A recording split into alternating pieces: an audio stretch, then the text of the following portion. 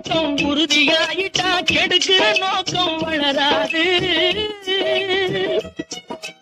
கீழும் மேலும் புரளாது இப்போ வலதளத்துல இருந்திருக்கும் இந்த தொழிற்சாந்திரத்தோர் பவால் இருந்து குழந்தைங்க.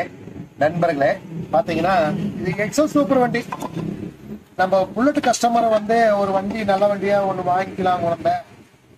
அதாவது புல்லட்டே எடுத்துட்டு இருக்கிறதா இருக்கு. சின்ன வண்டி வேணும் அப்படிங்கிறக்கோசரம் கன்சல்டிங்ல எடுத்துட்டு வந்துட்டாரு. அதாவது இருபத்தி நாலாயிரம் ரூபாய் போட்டு எடுத்துட்டு வந்துட்டாரு. எடுத்துட்டு வந்த உடனே நல்லா பிஸ்டன் இப்பதான் போட்டிருக்குது. பொறுமையா ஓட்டுங்க ஆயில் எல்லாம் கொஞ்சம் அதிகமா போட்டு ஓட்டுங்கன்னாங்க. சொல்லியிருக்கிறாங்க. கஸ்டமரே எடுத்துட்டு வந்துட்டாரு. வந்து எடுத்துட்டு ஒரு வாரம் ஓடி பார்த்தாரு. அவருக்கு ஒரு சேட்ட விஷயம் இல்ல. அவரோட நண்பர் வண்டி அல- அருமையா பிக்கப் இருக்கு. ஆனா பிக்கப் இது கம்மியா இருக்குது.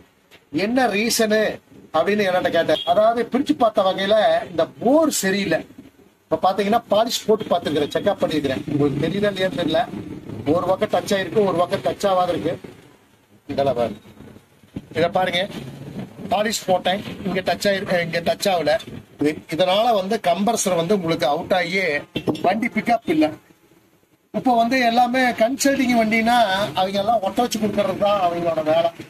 அதாவது எப்ப கரஞ்சாவா தென்ன காரியாங்கிற மாதிரி கதையா எப்ப வண்டியை நம்ம கைவிட்டு போகும்னு நினைச்சு செஞ்சு தான் அப்புறம் எல்லாம் கழட்டி பார்த்தேன். எல்லாம் செக் பண்ணி பார்த்தேன். ஆனா இது இந்தியன் பிரிட்ஜ் தான் பண்ணி ஆகணும் அப்படின்னு.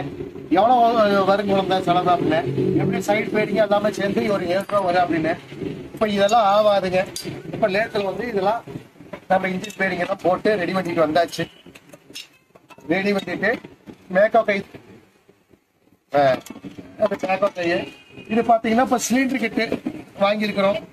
சிலிண்டர் கிட்ட வந்து ஒரிஜினல் கிட்ட தான் வாங்கி போட்டுருக்கோம். நாம இன்ஜின் வேலை செய்யறோம் இன்ஜினை கழுவுறோம்.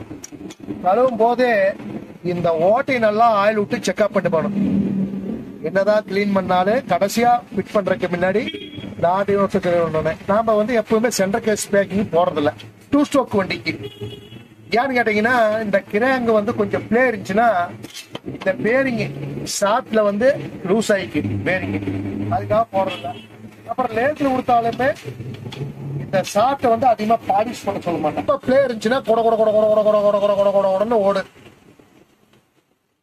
அதாவது டூ ஸ்டோக் வண்டி வேலை செய்யறதே கம்மி தான் நாம இருந்தாலும் கவனிச்சு பா- பார்த்து தான் நாம செய்ய வேணும் அப்படிங்கிற ஒரு நோக்கத்துல இப்ப நம்ம கஸ்டமருக்கு ஒரு சாட்டிஸ்பேக்ஷனா செஞ்சு தரோங்க சின்னதா ஒரு தகவல் தெரிஞ்சவங்களுக்கு ஓகே தெரியாதவங்களுக்கு ஒரு சின்ன தகவல் இந்த சேக்கு வரக்கூடாது சேக்கு வந்துச்சுனாவே உங்களுக்கு வந்து இன்னும் ஒன்னா கிரான் சாப்பிட்டு புஷ் அடிச்சு போடணும் இல்லைன்னா வெல்ட் அடிச்சு சில பேர் எல்லாம் போடுவாங்க. வெல்ட் அடிச்சா நம்ம காஸ்ட்லியா வந்து புஷ் அடிச்சு போட்டுறாங்க. நேத்துக்காரரு. சின்னதா ஒரு தகவல். நன்றி. வணக்கம். பவான் வந்து குழந்தைங்க